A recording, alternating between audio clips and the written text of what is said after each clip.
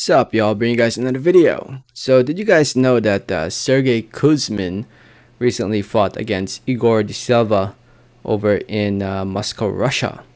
Uh, fight took place today. I honestly didn't even notice what was happening. I only found out about it um, when I was looking at the uh, schedule for boxing today and tomorrow and I saw Kuzmin's name and I was like, okay, he's fighting. And the fight was scheduled for 10 rounds the fight ended in the 10th round and it was a BS stoppage in my opinion. Um, Silva went down, don't get me wrong. He got hurt, he went down, he got up before the 10th count with maybe 2 3 seconds left in the fight and the referee called off the fight and stopped the fight and Kuzmin ends up winning this fight. Um, the fight's here on YouTube if you want to see the full fight. Uh, you know, just search up Kuzmin versus Da Silva, and you should be able to find it. And uh, and yeah, it, it went the whole ten rounds. Well, it didn't go the whole ten rounds with one or two seconds left in the fight. Um, but it looked competitive. I thought it was. I didn't score it round by round, but it looked competitive. Um, actually, I thought Silva was doing a great, a very good job boxing. He did get hurt in the middle rounds. I can't remember exactly what round it was. I think it was round number six where he went down. Um, but he was doing pretty well. And if it goes the distance, I, I would have been interested to see how the scorecards, how the judges had it. But I, I thought that I don't know, man. I thought that that, that stoppage was complete bull. Uh, referee, who's the referee in this fight?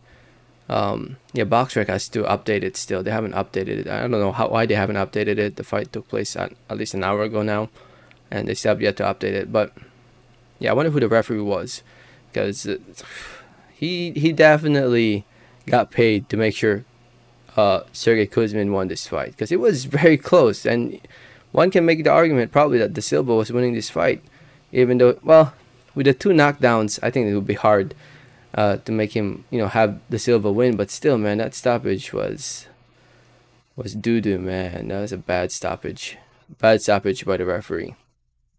Uh, but with this win, Sergey Kuzmin, at the age of 34 years old now, improves to 16 and 2, 11 wins coming by or 12 wins coming by way of knockout TKO. Um, first win since losing to Michael Hunter and Martin Bakole. In my opinion, I mean there was a time where Sergey Kuzmin was, you know, a top 15 heavyweight, but now, after watching this fight, I don't think so, man. I, I, I, I think Kuzmin's pretty much on the downhill now. I think it's pretty much almost done. Um, yeah, I, I, don't, I don't really see him being much of a threat to the top 15 fighters in the heavyweight division. His opponent, Igor da Silva, um, was undefeated going to this fight. He was 10 0, 10 wins coming by way of knockout TKO. He suffers his first loss in this one. I think he should actually try to go to 199 pounds, 200 pounds, the cruiserweight division. I feel like with his style and power, I think he might actually be competitive. He might actually make some noise at 200 pounds in the cruiserweight and he's not that far off from making weight. He's two seventeen from. Uh, I mean, he was 217 for this fight against Sergey Kuzmin, so he's 17 pounds away from making 200. So I think he should go move down in weight to cruiserweight and try to compete there.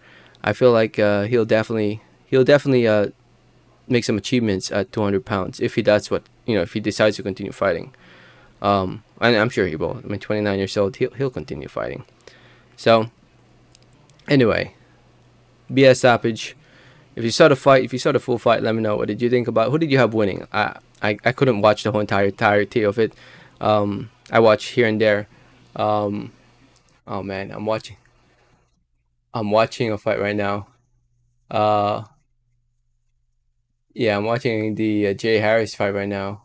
Oh man, um, somebody got knocked down. So, oh no way, Jay Harris is about to lose. Oh my goodness. All right.